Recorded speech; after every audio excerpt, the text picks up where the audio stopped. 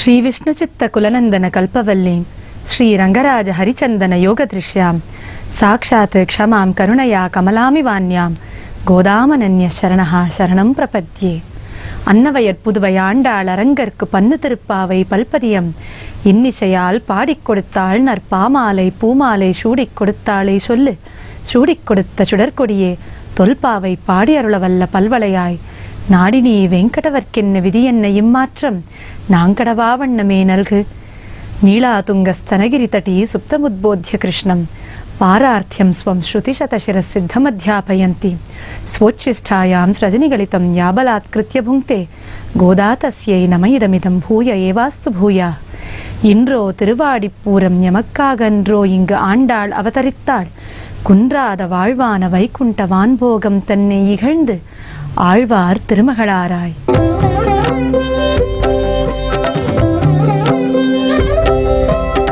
Today is the day of the 19th Pasharam.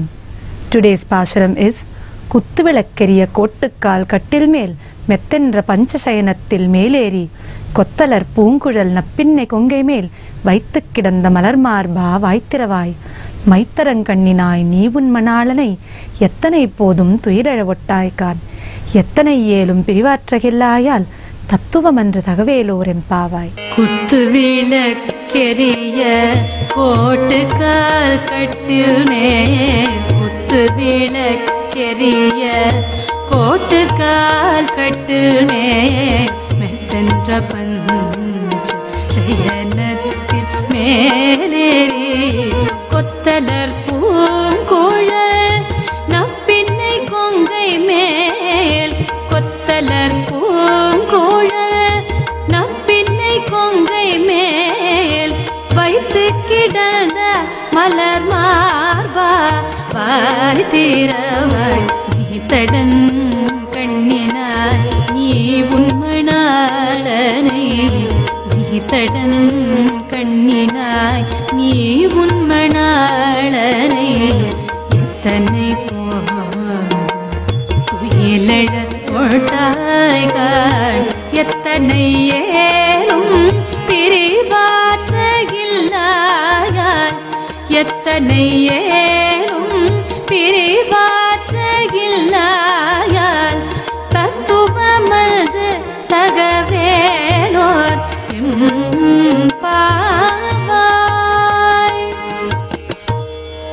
In this Pasharam, Andal continues her entreaties to the divine couple, Kannan and Nappinnai. Here, they are reclining on an ivory cot, Kottakkal Kattil Mel. Their chamber is illuminated by beautiful lamps, Kuttuvilakku. Hence, Kuttuvilakkeriya Kottakkal Kattil Mel. The Vilakku is also a metaphor for the Acharya, as it quells darkness and spreads light. The mattress is soft and has all the qualities of a good bed, such as softness, large size, pleasant fragrance, white color, and cool temperature. The mention of an ivory cot as against a wooden one reminds one of an interesting passage in the Tulsi Ramayana. When the Lord wished to cross the Ganga and requested Guha or Kevat for help, he insisted that he be allowed to wash the Lord's feet before Lord Rama stepped into his wooden boat. Lord Sri Rama asked him for the reason for this stubbornness, and Kevat says that it is because his boat did not possess the same sturdiness as rock. One wonders what the connection between rock and wood and sturdiness here is. Kevat hastens to tell the Lord with a smile that he had heard that when the dust of Lord Sri Rama's feet touched a rock, it turned into a beautiful woman, Ahalya. He says, O Lord Rama, if a rock itself turned into a woman, just imagine what will happen to my poor wooden boat if you step into it with Maya Sita and Lakhanji. This boat is my only source of livelihood, and I cannot afford to have it turn into a woman. So please let me wash the dust off your feet before you step into my boat. Basically, this was a ruse for him, Kevat, to get the Lord's Charanamrit. He says, Chuvat sila bhai nari suhai, pahanate na kathakathinai. Thankfully, here the Lord is sleeping on a bed with ivory legs and not wooden ones. He is reclining on the beautiful chest of Nappinai, who is adorned by a variety of flowers. Nappinnai கொங்கை மேல் வைத்து கிடந்த மலர் மார்பா This line is reflected in the invocatory verse Neela Tungastanagiri Tati Suptamudbodhya Krishnan. In the first passaram of Tirupavai, Yashoda's eyes are described. Yerarnda Kanni. Here, the eyes of Nappinne Pirati are praised as Maittadankanninai. Andal says, நீ உன் மணாளனை எத்தனை போதும் துயிலழ ஒட்டாய்க்கான் O Nappinai, it is clear that you do not wish to be separated from your Lord for even a second, but please deign to wake him up and ask him to hear us out. Ah.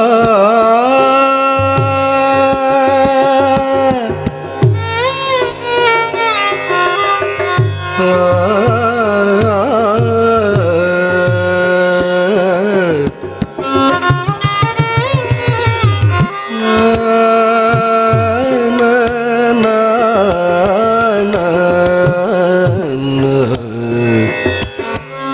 Sığınır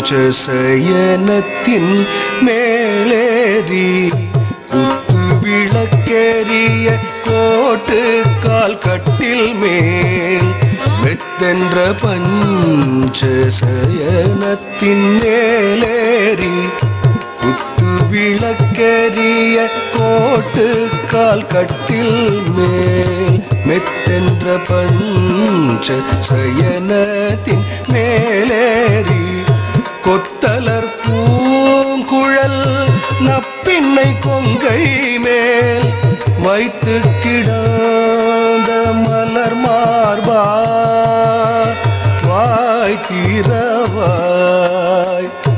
கொத்தலர் பூங்குழல் நப்பின்னை கொங்கை மேல் வைத்து கிடந்த மலர் மார்பா. வாய் தீரவாய் மைத்தடங்கண்ணினாய் நீ உண்மனாளனை எத்தனை போதும் துயிலெழ ஒட்டாய்கான் மைத்தடங்கண்ணினாய் நீ உண்மனாளனை எத்தனை போதும் துயிலெழ ஒட்டாய்கான் எத்தனை ஏலும் பிரிவாற்ற இல்லாயால் வேலோரெம் பாவாய் மைத்தடங்கண்ணினாய் நீ உண்மனாளனை எத்தனை போதும் துயிலெழ ஒட்டாய் காண். எத்தனை ஏலும் பிரிவாற்றகில்லாயால் தத்துவம் அன்று தகவேலோரெம் பாவாய்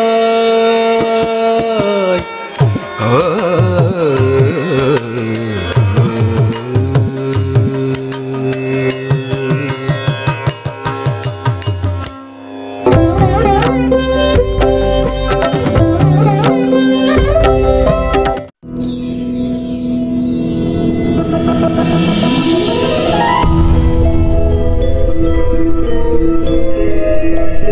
you.